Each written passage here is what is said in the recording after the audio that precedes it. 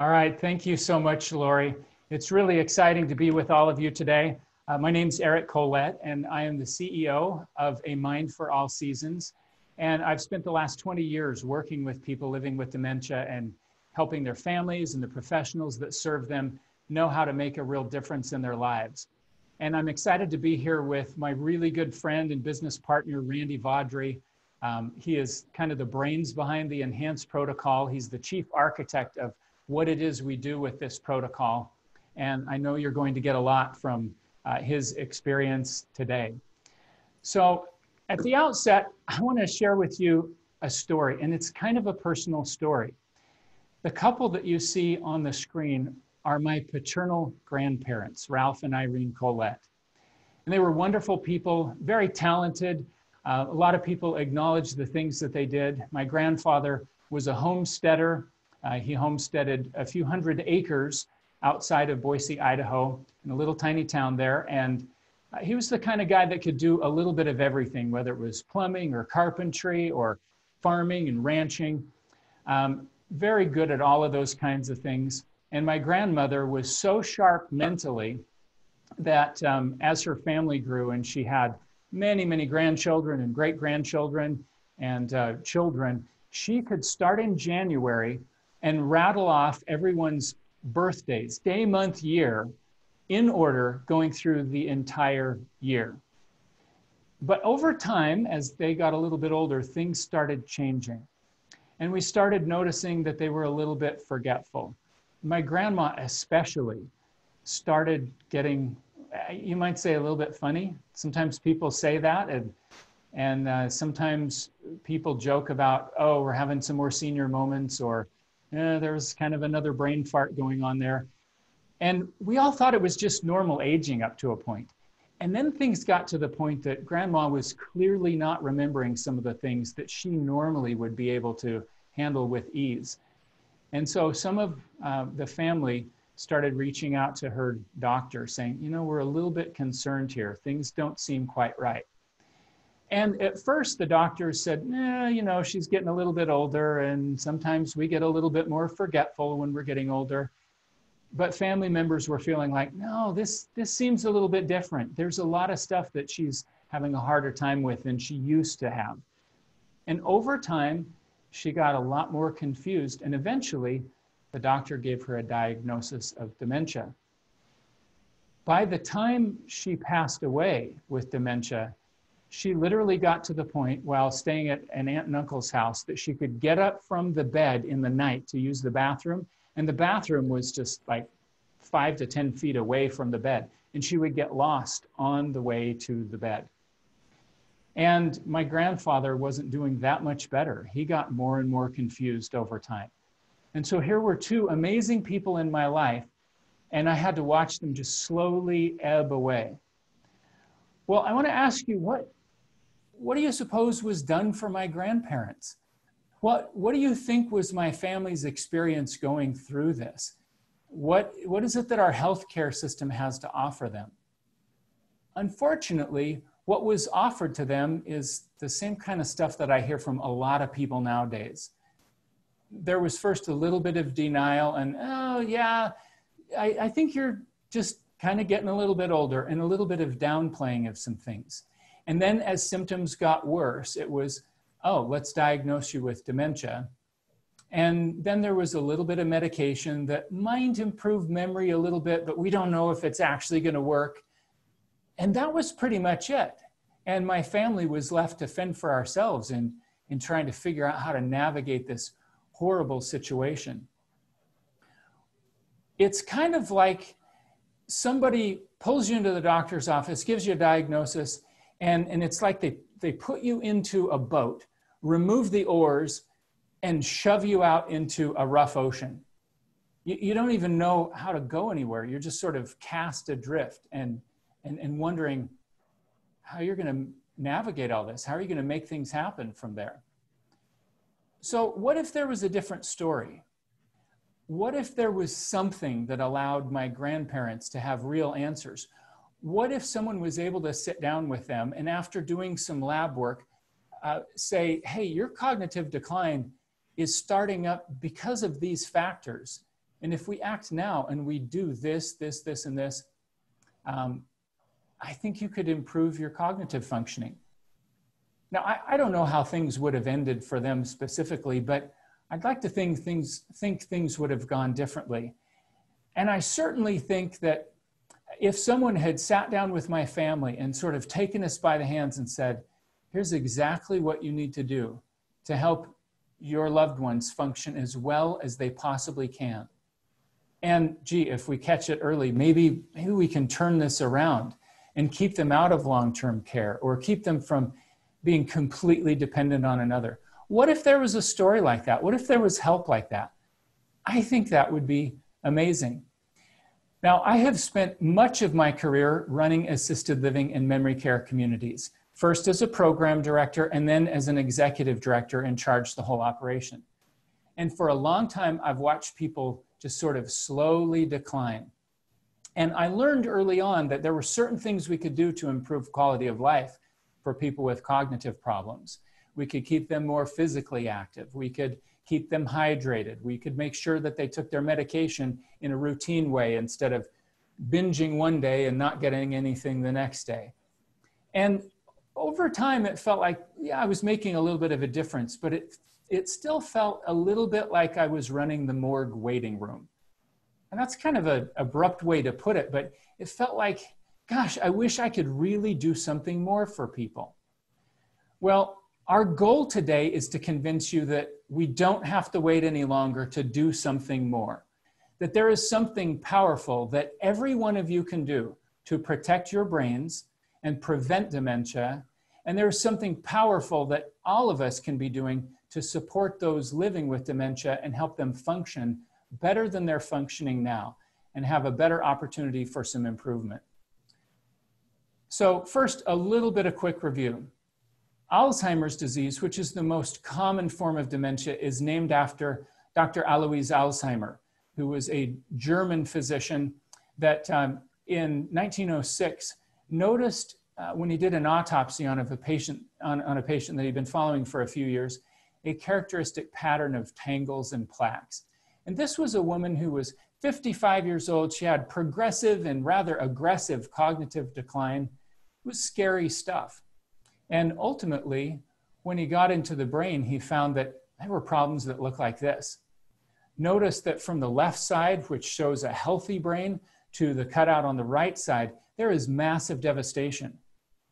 A lot of people don't realize that Alzheimer's disease is at work for 10 to 20 years before the first symptoms really show up.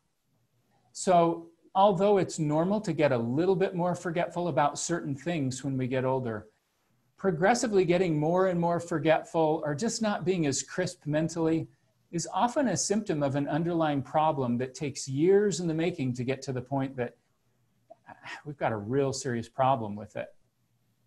Now, for a long time, really since 1906, people have been wondering what on earth causes Alzheimer's disease? The part of the brain, if I go back to this slide, the part of the brain that controls memory, um, or, or, at least a lot of our memory functioning, is the hippocampus. It's like the memory control tower. And it's also ground zero for Alzheimer's disease. And if you look at the slide um, and compare the left side to the right side, you see that the hippocampus is almost non existent. The memory control tower shrinks down almost into oblivion. In fact, nowadays we can do an MRI and measure it. And for a lot of people with advanced Alzheimer's disease, that memory center of the brain may only measure in the fifth to the, the 10th, maybe the 20th percentile. So these are cases where people are missing a lot of the memory center of their brain. That's why they're so confused and repeat themselves over and over.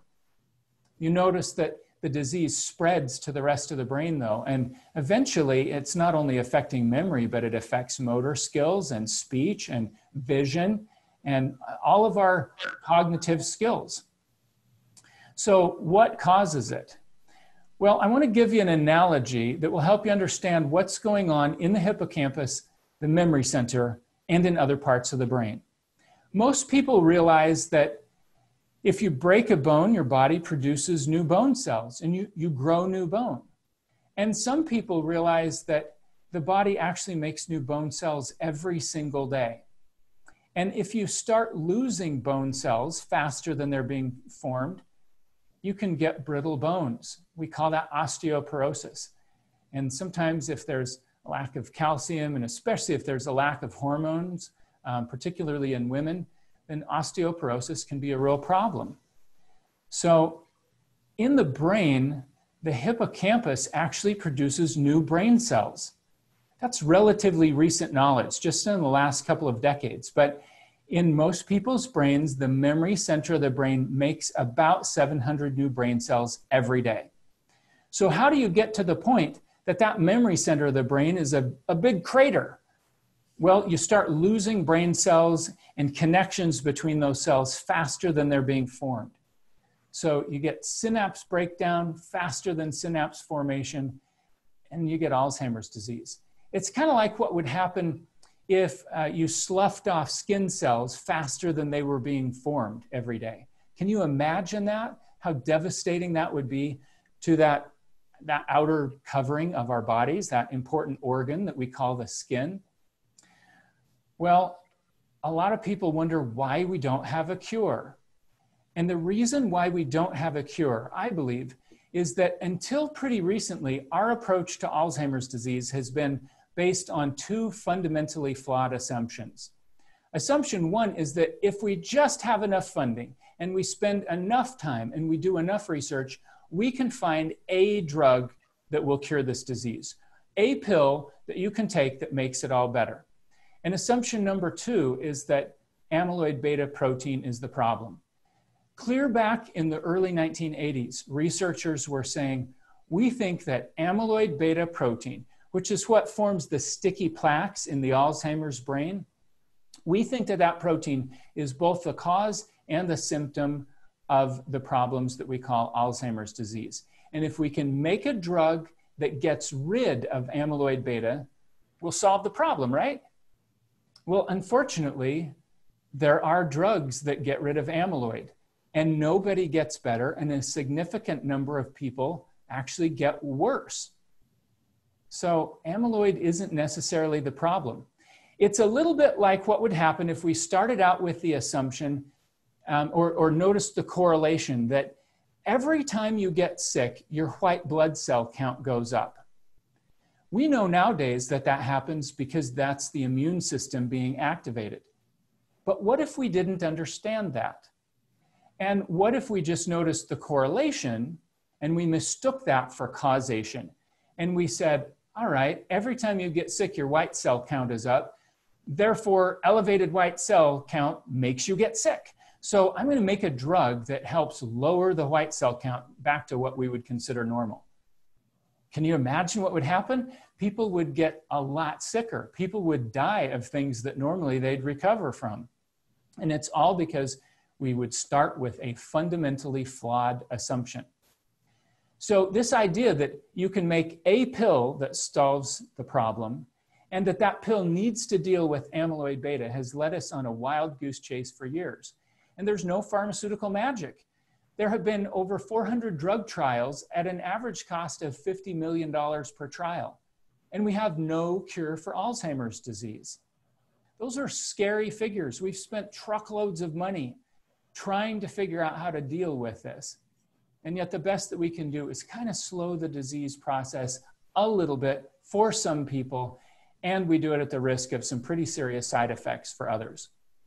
Dr. Dale Bredesen said that treatment for neurodegenerative disorders represents the greatest medical failure of our generation. And it's killing more and more and more people all the time. Well, Randy and I and our team at A Mind for All Seasons and the team at Avista Senior Living are on a mission to save as many people as possible, millions of people, from going down that road of destruction.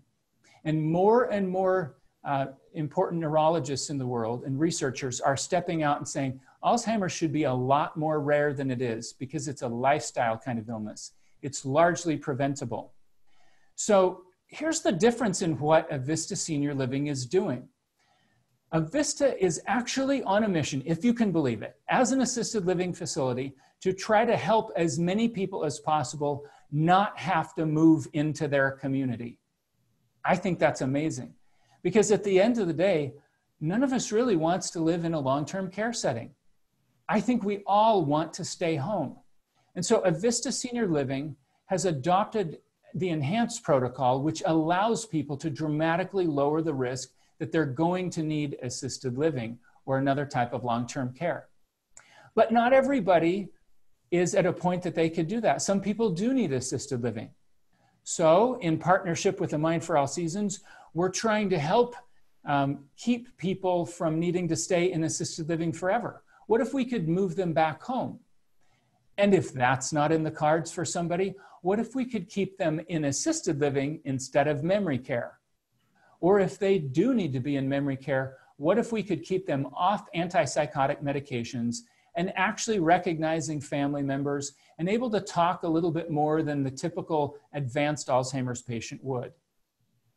Throughout the rest of this presentation, we're going to show you how that's possible. And you're going to understand why it shouldn't be frightening that researchers are jumping out of, uh, of uh, research into Alzheimer's drugs. Let me introduce you to one researcher. I actually mentioned his name earlier. His name's Dale Bredesen.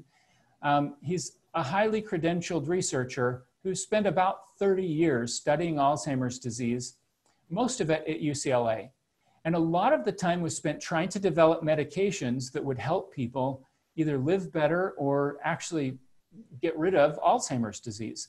And along the way, he made some important discoveries that helped him understand why one drug is not going to cure the problem. That we have answers when uh, the root cause of problems are single issues. Like you get sick with a bacterial infection, you take an antibiotic and you get better. But we don't have a lot of answers for the chronic things that people are now dying from. People live longer than they ever have, and yet a lot of times the last decade or two or even three of life are spent with heart disease and diabetes and uh, consequences of strokes or Alzheimer's disease or another type of dementia. Why is that? Well, it's because these diseases are caused by multiple factors. And Dr. Bredesen realized through his research that the perfect Alzheimer's drug would have to do all this stuff. That's a lot of stuff. And we are certainly not going to get into the difficult, very technical details of it, but it's a little bit like you have a, a roof with 45 or 50 potential holes in it, and you want to stop the house from leaking. And so you go out and you do a really good job of patching one hole. Well, you can't just patch one hole and expect the roof to stop leaking. If you want to stop the roof from leaking, you've got to measure where the holes are and you need to set about patching each one. Some are bigger than others, but they all make a difference. Now, Alzheimer's research has kind of been about monotherapies, finding one thing. It's like you find the drug that will have a difference that's measurable and you test it against a placebo. Well, that's a lot like trying to patch one hole, and maybe you can measure that the house is filling with water a little bit slower when it rains, but doggone it, it is still filling up. It only buys you a little bit of time. So Dr. Bredesen took a totally different approach because he realized you can actually measure a lot of this stuff. And arguably, you could influence all of the stuff that's on the list. Now, along the way in my journey, I met Randy Vaudry, who is an amazing nurse practitioner who has been helping people living with dementia since 2001. He spent a lot of time working in skilled nursing facilities and then consulting with them. He's spent a lot of time in private practice. He's also owned a med spa. Um, he's owned a mental health practice and a supplement store. He's done a lot of things to make life better for people, especially older people. And when I met Randy, I was amazed. I sat in his living room till midnight one night, and I left that night absolutely convinced, based on his experiences with real live patients right here in our home state of Idaho, that we didn't need to wait to make a difference for people, that you could actually make a difference now. So it's my pleasure to introduce to you Randy Vaudry, who's going to talk about how we take some of these insights from Dr. Bredesen and what it was that he did in his research, and how we've taken all of that that's really complex and we've packaged it in a system that is simple and straightforward that anybody can take advantage of, whether you live in an assisted living community or you're living at home trying to avoid ever needing to go to assisted living, just wanting to keep your brain as sharp as possible. So, Randy, I'll let you take it away from here. Perfect, thank you. And as you looked at that last slide, it's very technical, but I'm gonna, I'm gonna be very simple as I walk you through these interventions. A local pharmacist introduced me to this research paper all the way back to 2014. And if you look at the title, it was called Reversal of Cognitive Decline, kind of a new therapeutic approach. And it struck me as really interesting. So I devoured the, the research and began implementing a system dating back clear back to 2015. And that took me to uh, Dr. Bredesen's training. Dr. Bredesen began explaining how to manage people with cognitive decline or early Alzheimer's and ways that you could uh, stimulate the brain to regenerate or at least minimize the ongoing dis- destruction so that people didn't deteriorate into that setting that Eric talked about with his grandparents. And I had the opportunity to go to Dallas, Texas, and study with Dr. Bredesen where I learned about some of his early case studies. So as Eric hits the buttons along these, you'll see that in case study number one, there was a 66 year old male that had a genetic predisposition towards having Alzheimer's, and they had done lots of studies, PET scans and MRIs. And in these MRIs, they actually measured the part of the brain that deteriorates with Alzheimer's disease. After 10 months of following his protocol, you'll see the very last bullet on this slide that an individual grew back their hippocampus from the 17th all the way to the 75th percentile. That's amazing that someone could grow that back after having loss. In the second case study, there's another example of an individual that was 69 years old and self employed. This individual had um, PET scans where they scanned the brain and some genetic tests where they identified that this individual also had one of the genes for Alzheimer's disease. And they had gone through neuropsychiatric testing three different times over a 10 year period. And they showed that this decline had been progressive over 10 years. And the local neurologist basically said, Look, you better get your affairs in order because there's nothing we can do. This individual worked with Dr. Bredesen and you'll see on the last bullet point that after 22 months of following a very specific therapeutic intervention, this individual gained back from the 13th percentile to the 17th percentile the part of the brain that controls language and the ability to find words and recall words. And those are remarkable results. So it's not anecdotal. They actually verified this in neuropsych testing and also by MRI. And it goes to show that by following a very individualized and personalized approach to Alzheimer's, you can make massive differences in the parts of the brain most affected by Alzheimer's disease. So, and he went from the 13th to the 79th percentile. I, I think he said 17th, but yeah, amazing improvement there. Thank you. Yes.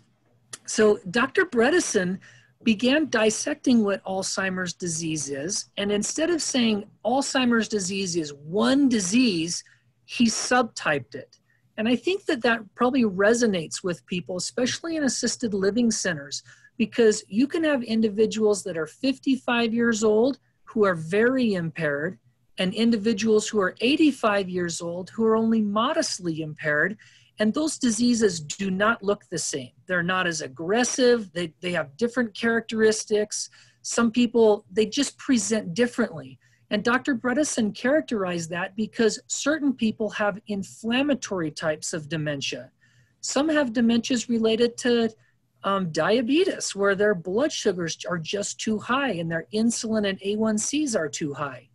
Many individuals have what are called atrophic dementias, which means that they're very, very low in sex hormones and they have suboptimal thyroid problems. We see this probably more often in women than men because women who go through a hysterectomy early in their life and they lose the brain protecting influence of estrogen and progesterone and testosterone, that are oftentimes produced in the ovaries, they have a greater tendency to ease into a cognitive decline or a dementia. Still others have a toxic dementia that Dr. Bredesen called vile dementia.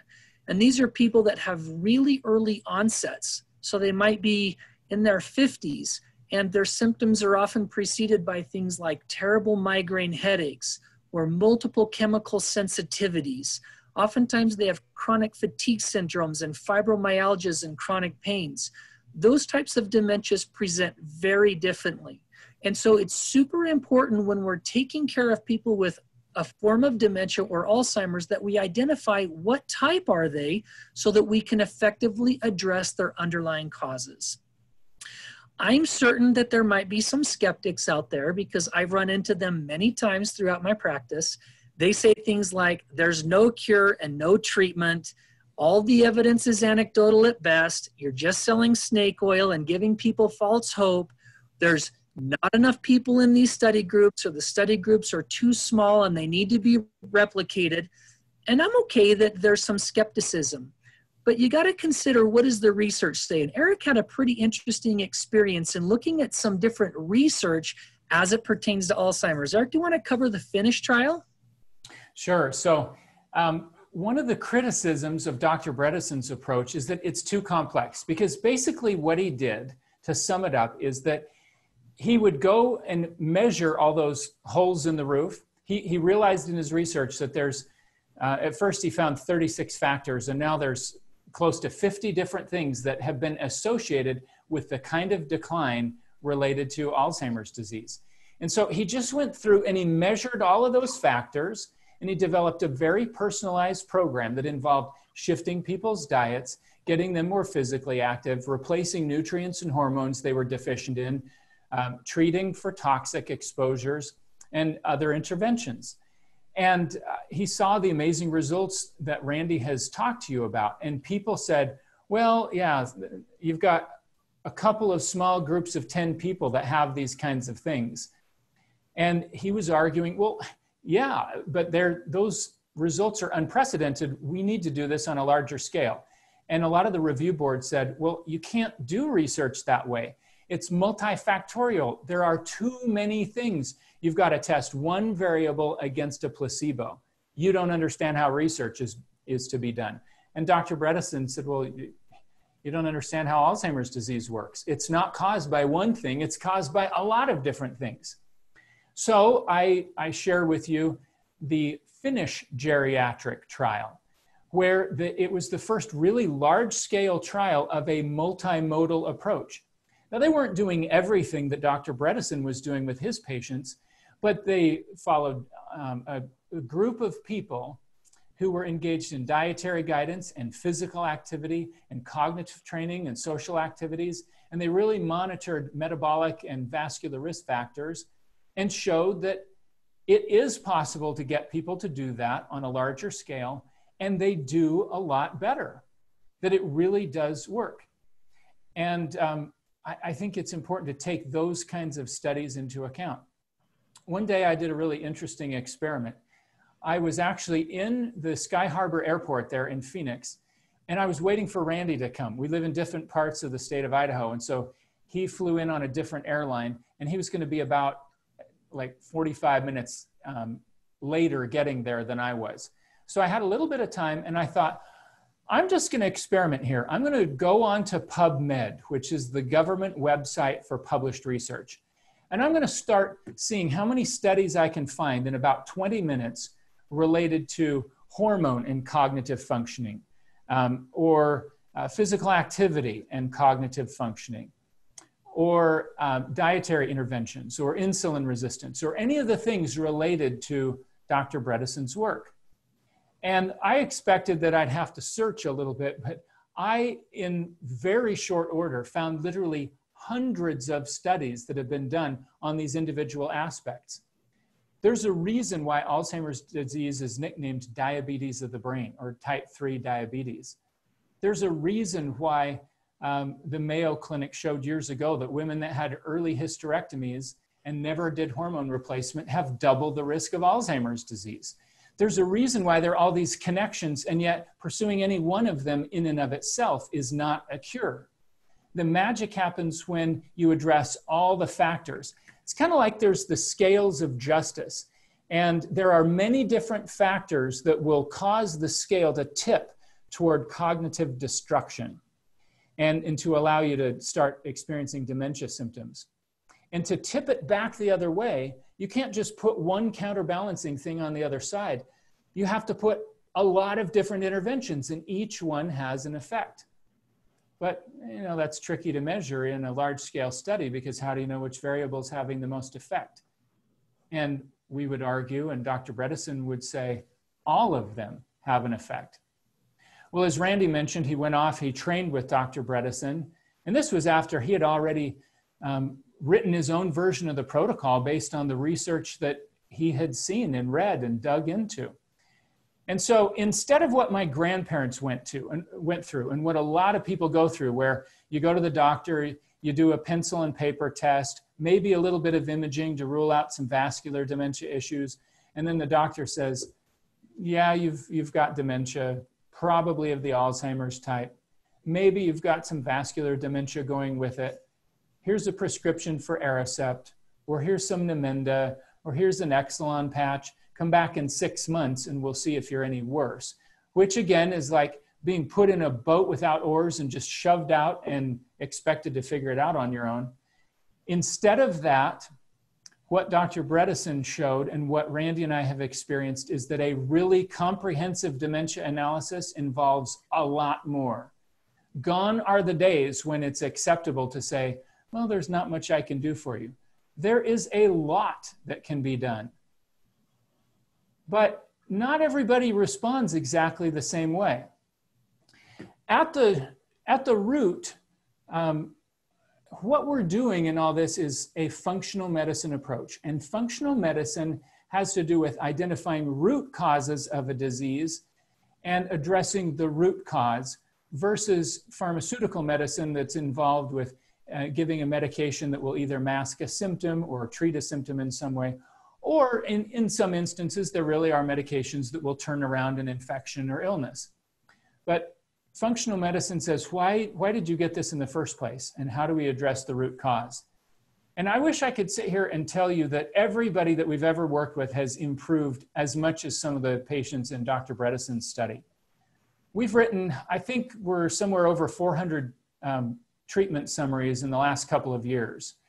And we've seen some amazing improvements with people, really amazing. But we've also seen some people where the best that they got was just steadiness. The decline stopped. And Randy and I started saying, well, if, if treating cognitive decline is like managing a scale and it takes a lot of counterbalancing measures on the other side to tip us back into cognitive health. What on earth could we add to it? We realized that managing stress was a big issue. And so we had already worked in a coaching component. People, if you just go out and read um, Dr. Bredesen's book called The End of Alzheimer's, or if you read his research, it's really difficult uh, to understand it. It's complex. So people need a guide.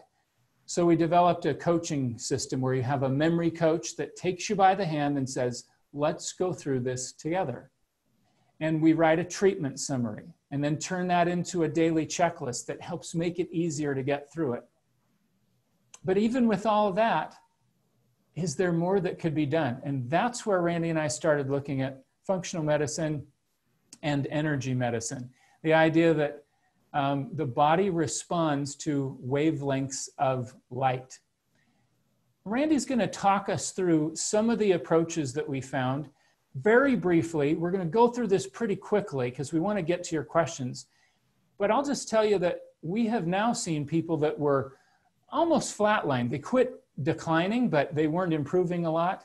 And when we added in these additional treatment modalities, that's when uh, we saw one lady that had been participating in the enhanced protocol for a year without a whole lot of improvement.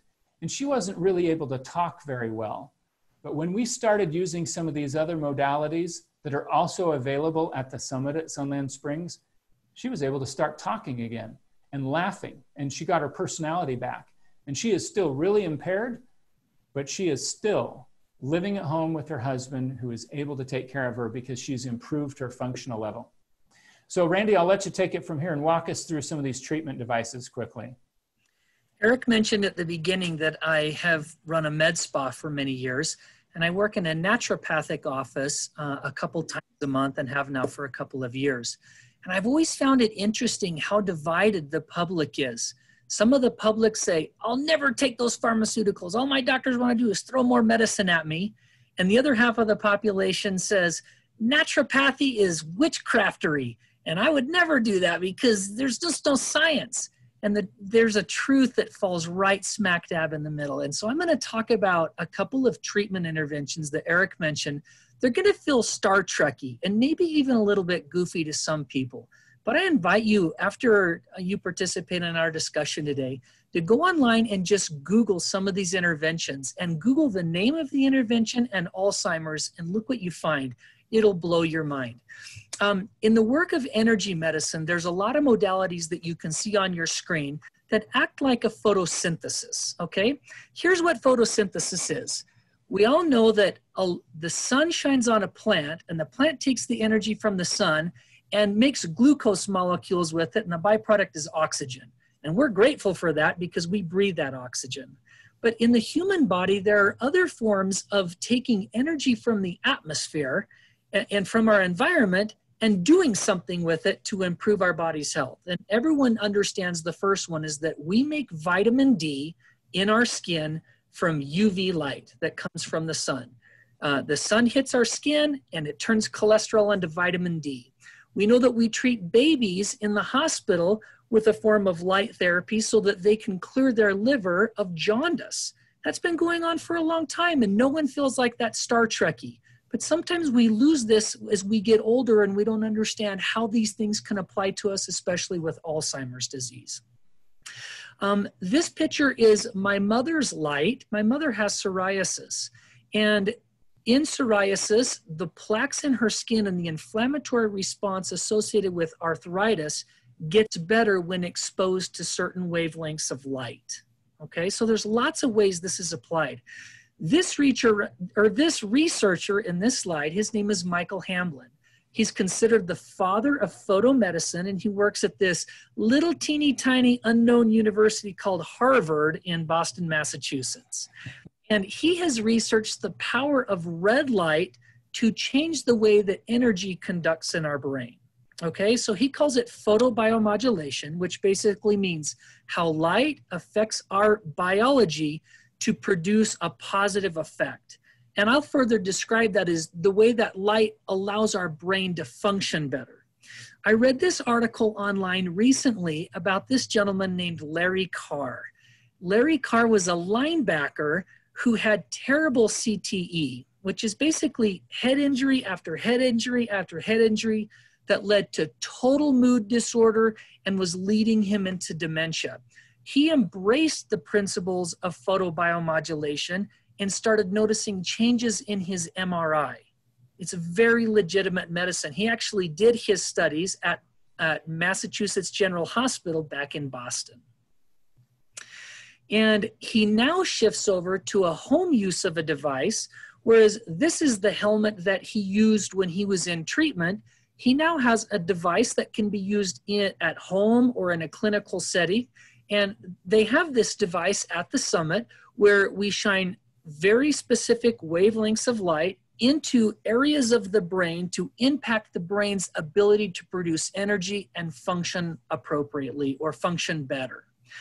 There are applications of this type of therapy all across the country.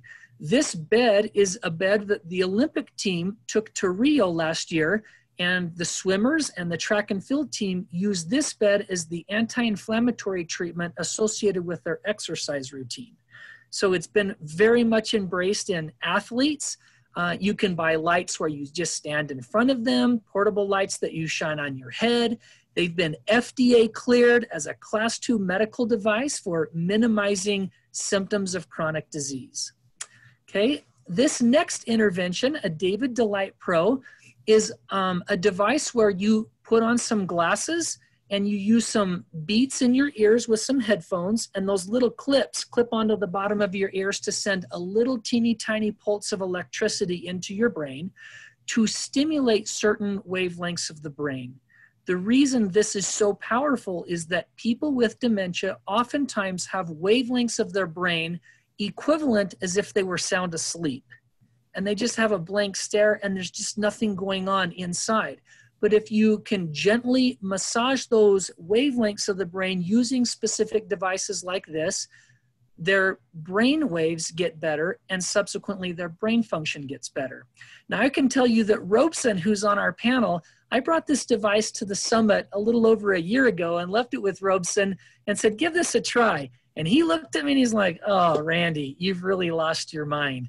And after about one quarter, when I came back a couple months later, he put that on the desk and said, Randy, this thing is magical. I can't believe that we don't use more audiovisual entrainment in assisted living centers to help individuals with terrible anxiety, mood orders like depression, and sleep disorders, because it can make a huge difference. Um, we use another device called exercise with oxygen therapy. This particular device is called LiveO2 everyone knows the benefit of exercise. And I go to assisted living centers all across the country and I see exercise rooms that are empty because many seniors just struggle to know what to do. With a health coach, you can put someone on an exercise device like a recumbent bicycle, and then you connect them to a face mask like a, a CPAP. It's like a CPAP, but not the same thing. And then they breathe um, oxygen contents that are about four times the oxygen content of room air. So we're getting their heart rate up, we're increasing circulation, and now we're doing it under the influence of more oxygen. And it's amazing how much better they feel. It's probably my experience with this form of training is most individuals will say that they're able to exercise without feeling wasted or totally exhausted after exercise that they just feel enlivened and enriched because of the amount of oxygen that they get. So it's a very powerful intervention. So I could go on and on and on, and I know we're about done with our time frame today, but I just wanted to emphasize out there that when I hear um, patients or their doctors say to me, well, I was diagnosed with Alzheimer's and it's a downhill course from here because there's nothing you can do. I get aggravated by that because there's so much that you can do. I hope that you learned the, to start early because I do not believe that losing your memory is a natural part of the aging process. That is disease. And if caught early, we can make a massive improvement in the rate of decline. And for those who are already in assisted living center, there's so much that can be done to strengthen them. And so, without getting into all of these interventions on the screen, just know that the enhanced protocol embraces the research of Dr. Dale Bredesen, neurologist from UCLA, Dr. Richard Isaacson, neurologist from the Dementia Prevention Clinic at, at Cornell University in New York. It embraces the therapies from Dr. Sherzai, who runs the Loma Linda Dementia Clinic in Southern California. There's so much that can be done, and we invite you to come and participate in the protocol so we can see what we can do for you. Thanks, Randy. I want to sum everything up so that you know in simple terms exactly what the enhanced protocol is and why it could help you or a loved one. So basically, we do a comprehensive analysis through blood work of about 45 different factors that are involved in whether the brain tips toward cognitive destruction and you start losing brain cells faster than they're being formed, or it protects the brain and uh, you make brain cells faster um, than you're losing them. Then um, we give a comprehensive, we call it a roadmap report because it tells you how to go from where you are to where you want to be cognitively. And we also look over everything that is going on in terms of your medications, your health history, your life history, all the things that would affect you. We turn that comprehensive report, which is usually it runs 20 to 22 pages long, and it's like the user manual for your body, but it's a little bit complex. And so we turn it into a daily checklist that makes it simple for you or people caring for your loved one to follow. We offer coaching and support related to diet, as well as other aspects of the protocol. Um, you get support in terms of how to increase your physical activity. We train you in what are called the vital five pillars. These especially come into play if you've got a loved one with dementia, because these are the five key things, overarching principles that allow family members and professionals to interact more effectively with people that they're serving. We also provide unlimited access to a trained memory coach like Robeson that can walk you through the process. And we include these medical devices as part of the protocol. So when we refer to the enhanced protocol, it is a comprehensive system um, to help improve cognitive functioning for individuals. And it can be done in the home uh, for uh, remote clients or any, anywhere in the country, or it can be done um, in a center like our brain therapy studio in Boise or the therapy studio that Robeson has there at the summit. Um, you also get some good pricing on supplements as part of the protocol. So remember my grandparents that I talked about and the path that they went down that's like so many other people? I postulated the idea that maybe there could be a different story. Well, let me tell you about a guy named Marv Levitt, whose wife Sue has given us permission to talk about him. Marv had gone through three years of pretty aggressive cognitive decline. He was struggling. He was normally pretty kind of cantankerous and gregarious with his wife. He would tease her and rib her a little bit. But he was getting to the point that as his brain declined, he was getting mean. And they went to three different neurologists that said, Hey, I'm so sorry, you've got dementia, and there's not a lot that I can do for you. And as he declined over time, things got so bad that the kid said, Mom, it's time to get help. You, you got to move dad into a community so that you don't lose yourself. And so she moved him to the summit at Sunland Springs. Thankfully, she also enrolled him in the enhanced protocol. And after five and a half months of treatment, he went from a cognitive score of 16 out of 30 on a Montreal cognitive assessment to a score of 30 out of 30. And he moved back home on December 10th of 2018. Here is Sue with a very brief explanation of what she went through.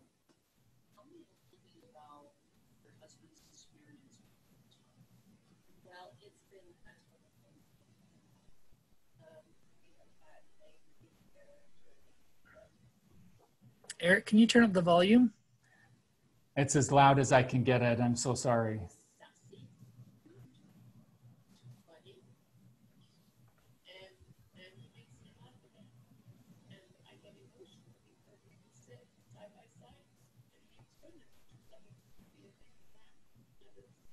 Why don't you give us the highlight of what was spoken? All right. So, so I, I apologize. The audio wasn't loud enough on that particular recording, but she was saying that um, his personality came back. He was now sassy and rude again. And she would um, sit there in the chair next to him and recognize that he was teasing her and that his personality came back. And um, at the end of it, she says, I got my husband back. That is a powerful statement. And it is something that fires me up every time I see it because I spent so many years of my career watching people go the other direction.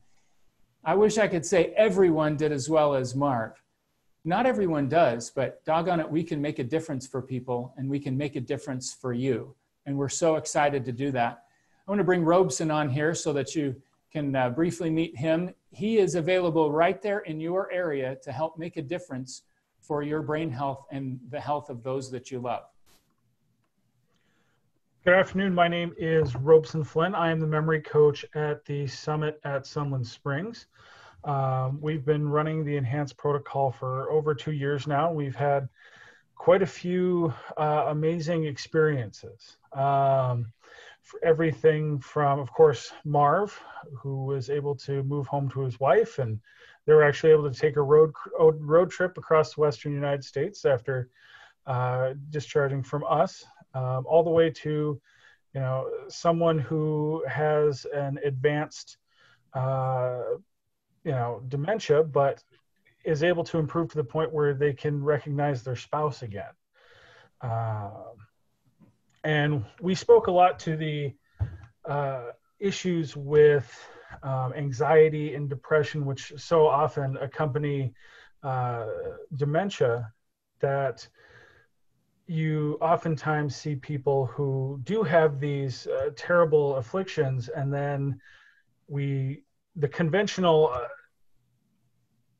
wisdom there is to put them on a psychiatric drug. Um, but along with that comes you know a loss as we are as their cognition does improve and we re- requires less hands-on um, coaching. Great great. Another question is do you have to have an official diagnosis in order to do the enhanced protocol program? No you do not. Um, you know we've treated everything from people who are you know considered late stage alzheimer's to hey you know, I got my 23andMe results back and I have the gene, the ApoE gene, uh, 4 4 for Alzheimer's disease. So I want to do something about this so I never develop it in the first place. I, am going to jump in just a minute on that question as well, Robeson and Lori. Um, one of the most powerful things that we can do is help people prevent cognitive decline. So a lot of professionals find themselves in their 40s, 50s, early 60s, and they just don't feel as sharp and crisp as they used to. And we can do pretty advanced cognitive testing where someone might test totally normal on a pencil and paper test at their primary care physician's office. But when you do a neuropsych workup and you do more intensive testing, you find out that they're in the 40th percentile in certain things, and they really are losing some ground those are the people that see the biggest results from this, where they have really impressive turnarounds and they're they're ensuring a different kind of future where they're not going to need to live in assisted living and memory care. That's great. Um, Rand, between Randy and Eric, I'll let you answer this. What is the success rate of folks improving versus staying the same or decline? That's a great question. And unfortunately, it's hard to answer because if I take someone who is uh, quite compromised, then they have to apply the interventions over a longer period of time to notice some benefit. Whereas Eric just mentioned, if someone's still living at home and is in their early 50s and just may not feel as sharp, oftentimes they notice massive benefits in the really early stages. That the key is how many of the of the root causes are in, affecting that individual's cognitive decline? And how complex is it to correct those root causes? So that answer really varies from individual to individual and it's hard to give um, it's hard to give a concrete answer but i will say this. Um, i believe that once individuals start most of them want to continue forever because no one wants to start and feel really good and go back to what caused the cognitive decline in the first place. So uh, that doesn't mean that everyone stays with us forever because once they learn how to do some of these things, many can continue to do that. But as Robeson mentioned, many people find that having an accountability friend, the motivation to come, the therapeutic devices that they can that they can apply really make a difference in the long run. That's great. Quick experience related to that. During COVID 19 at our therapy studio here in Boise, we had to shut down things for a while and we were just coaching people remotely helping them stay on the dietary interventions and supplementing the things that they needed to, but they couldn't come in and receive some of the medical device treatments. And a lot of the clients that couldn't come in and do that started losing ground. And we started getting phone calls from people saying, Oh my gosh, this is essential for me. I am slipping. I, can you please, please, please open up because this is essential. And um, it, it's a little bit like going to the gym if someone says, Well, how long do I have to work out before I don't need to work out anymore? We would laugh at that because living a healthy lifestyle is something you have to keep doing mm-hmm. or you're not healthy anymore. And when it comes to brain health, our goal is to teach you interventions, help give you a jump start, get you back to where you need to be, and then help you live that lifestyle and eat in brain healthy ways, move in brain healthy ways, supplement in the right ways for your body throughout the rest of your life because if you don't, it's just like falling off the wagon with your diet or stopping your gym membership. But this is our final question, and then we'll go ahead and wrap it up. I appreciate everybody coming on the call and to Randy, Eric, and Robeson being able to provide such great information. The question is, uh, my, my father-in-law lives at the summit and was diagnosed with frontal temporal dementia. Does the enhanced protocol address his condition?